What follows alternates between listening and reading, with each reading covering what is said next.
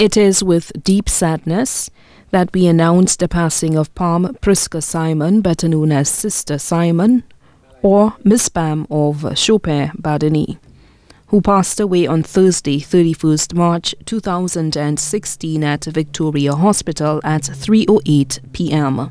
She was 60 years. The funeral service for the late Palm Prisca Simon, better known as Sister Simon or Miss Pam, will be held on Sunday, 10th April 2016 at the L'Abbaye SDA Church at 2 p.m. Then the body will be laid to rest at the L'Abbaye Cemetery. The body now lies at Rambally's funeral parlor on Calvi Road.